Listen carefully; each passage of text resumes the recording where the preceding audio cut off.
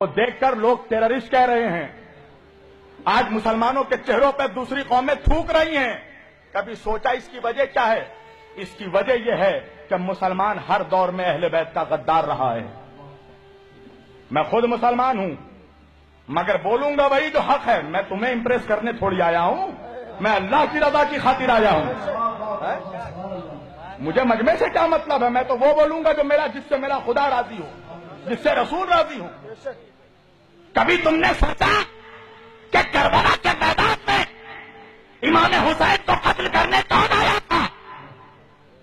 کربلا کے میدان میں امام حسین کو جو لوگ قتل کرنے آئے تھے، وہ کیا آر ایس ایس کے ورکر تھے؟ بجرنگ دل کے سپاہی تھے؟ ہاتھوں میں ترشول لے کر آئے تھے؟ ماتھے پہ ٹیکا لگا کر آئے تھے؟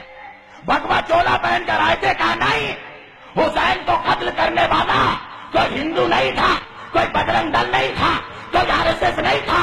حسین کو جتنے لوگ قتل کرنے آئے، ان میں سے کوئی حافظ تھا، کوئی قاری تھا، کوئی مفتی تھا، کوئی مولوی تھا۔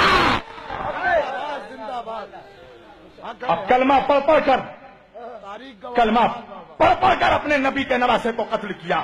علامہ اقبال نے کہا کہ کیا تماشا ہوا اسلام کی تقدیر کے ساتھ؟ کیا تماشا ہوا؟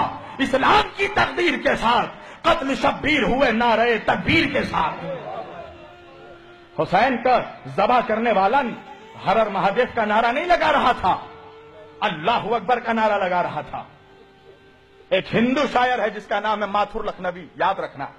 اس نے ایک شعر پڑھا، آج تک ہندوستان میں کسی مولوی میں ہمت نہیں ہوئی کہ اس ہندو کا جواب دے سکے۔ وہ ہندو ہو کے کہتا ہے ماتھر لکھنوی کہ خدا کا شکر ہے ہم ہندوؤں میں۔ دیکھو ایک ہندو کیا کہتا ہے؟ کہتا ہے خدا کا شکر ہے۔ ہم ہندوؤں میں کوئی شبیر کا قاتل نہیں ہے۔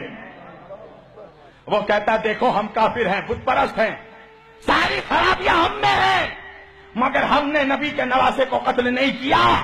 اے مسلمانوں، تم حافظ ہو، تم قاری ہو، تم مولوی ہو، تم مفتی ہو، مگر تم نے کلمہ پڑھ پڑھ کر اپنے نبی کے نواسے کو قتل کیا۔ بتاؤ ہے کوئی جواب؟ ہے کوئی جواب؟